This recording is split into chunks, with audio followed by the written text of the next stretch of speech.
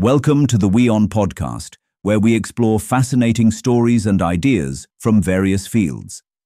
In this episode, we explore the mystery of a possible ninth planet lurking beyond Pluto, and yet astronomers are now questioning whether it truly exists.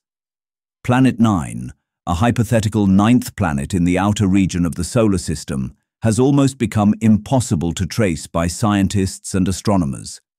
Planet 9 is said to be somewhere beyond the orbit of Pluto and lies in a very dark and cold place in the solar system, which makes it hard to detect. In the past, scientists have given several reasons for this.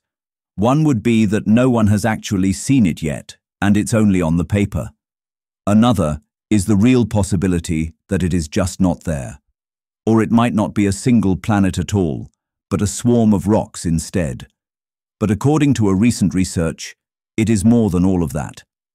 New research conducted by physicists Katherine Brown of Hamilton College and Harsh Mathur of Case Western Reserve University deduced that there is something missing from our current model of gravity as described under the general relativity theory.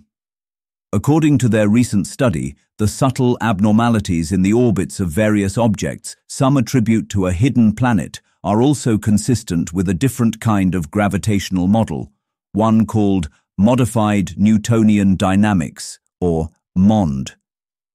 The flaws in Newton's law of universal gravitation were resolved by Einstein's theory of general relativity. MOND is an alternative solution that proposes other gravitational effects take over when Newtonian gravitational acceleration drops below a certain threshold.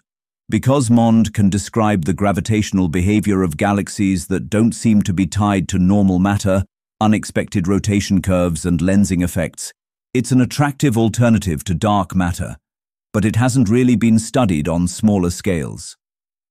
MOND is really good at explaining galactic scale observations, Mathur says.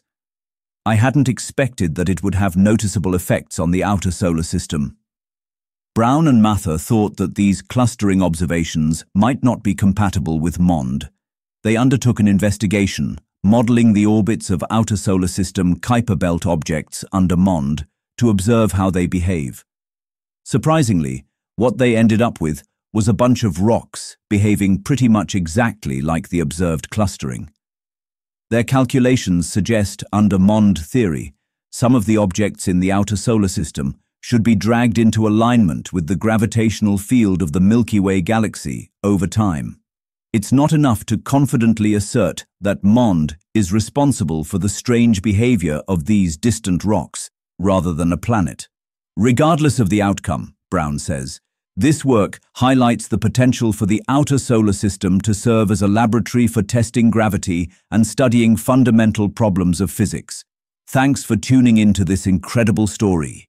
If this episode resonated with you, don't forget to hit the like and subscribe button for more captivating stories to come. Stay tuned.